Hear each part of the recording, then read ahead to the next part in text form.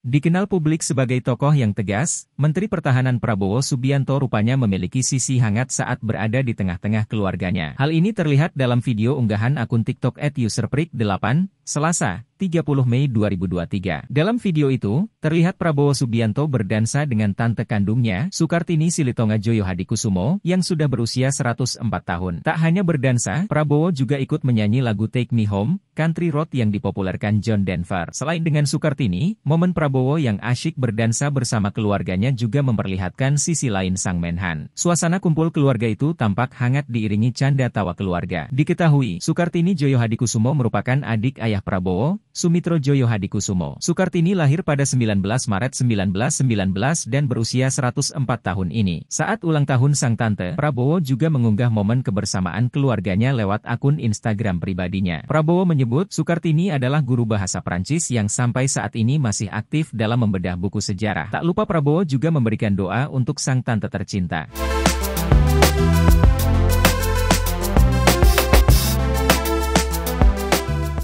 Terima kasih sudah nonton.